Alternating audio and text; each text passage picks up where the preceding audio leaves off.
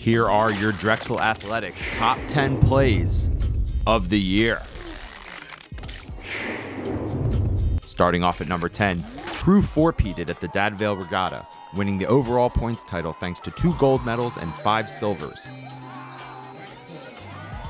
Their celebration was so big, it almost sunk the dock. At 9, softball's Bailey Reed started off April 10th's game with Towson with a leadoff home run, the first of her career. She followed that up with the 100th hit of her career in the third inning. She's the 34th Dragon to reach the 100 hit club. Number 8, two Drexel swimmers won events at the CAA Championships. Joel Berryman, whose teammates call him Kiwi, won the 100 freestyle, while Minion enthusiast Rachel Bernhardt took home gold in the 200 breast.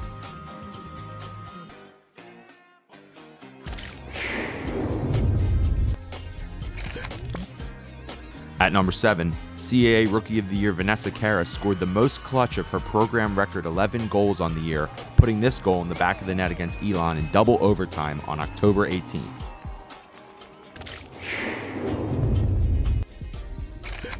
At 6, it's the blonde bombshell himself, Michael Kay, who won the game in overtime for men's lacrosse down at Delaware with this snipe, keeping their playoff hopes alive. Goal, number 40, Michael Come into the University of Delaware and take down the Hens by a score of 6 to 5. Now for the top five plays of the year, as voted on by Drexel Athletics staff.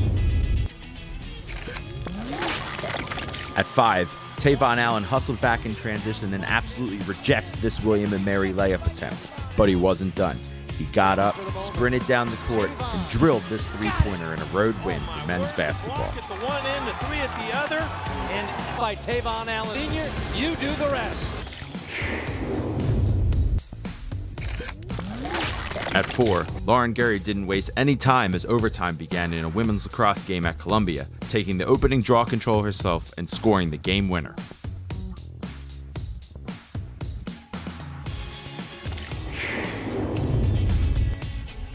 Austin Rose got the match-winning pin versus Rider. I'll let Nick Grinups and Steve Winfield take it from here. Oh, that's two! That's two on the edge with 10 seconds left, and the fall for the Dragons! The Dragons come away with a win here. Here's I am dumbfounded. Austin Rose, what a match. Congratulations to the Drexel Dragons taking a 21 14 win over big rival Rider.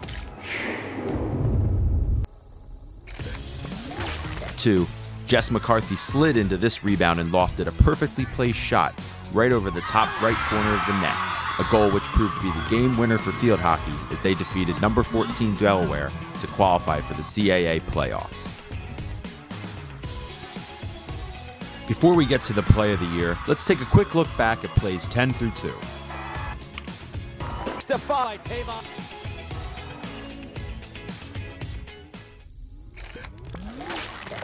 And your 2015-16 Drexel Athletics Play of the Year is Colin McGlynn's goal against Penn. In front of a record crowd at Vidas Field, Francisco De Palma found McGlynn for this header in men's soccer's 1-0 win in the University City Derby.